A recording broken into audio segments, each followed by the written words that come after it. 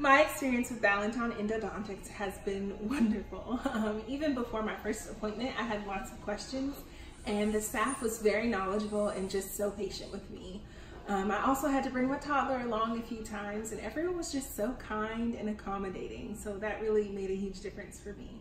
Um, Dr. Tadrissi was very caring. He was concerned about all of my issues and he even saw me a few times after for some concerns. Some concerns. So I just really appreciate how great the office was and the staff and our root canal procedure was wonderful. It went really well. So I would definitely highly recommend Ballantyne Endodontics.